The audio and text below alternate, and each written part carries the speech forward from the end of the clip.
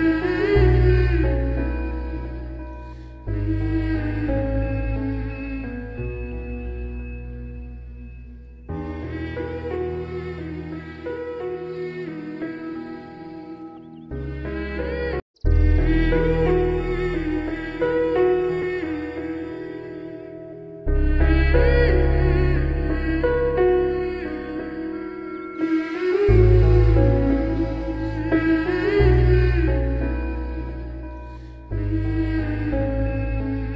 കൂടുതൽ പോസ്റ്റുകൾക്കായി ഞങ്ങളുടെ ചാനൽ സബ്സ്ക്രൈബ് ചെയ്യുക.